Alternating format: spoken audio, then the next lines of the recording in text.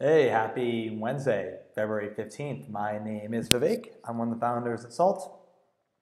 My business partner and team at Salt, we have this tradition of doing these uh, warm thank you, welcome videos for all of our new users um, every day because our community is incredibly, incredibly important to us. Number one priority here. Um, and we thought this would be a fun way to first introduce uh, the team to you. And uh, secondly, uh, give you a couple tips on uh, how to get started. So the first one is if you have questions, uh, problems, uh, suggestions, we'd love to hear from you. All you have to do is reply back to this email. Uh, someone is always here to assist. Also, um, in the email that you received, there's a personalized tip, which is usually helpful to get started, so definitely check that out. Other than that, hopefully you're having a great Wednesday. Have an awesome week ahead.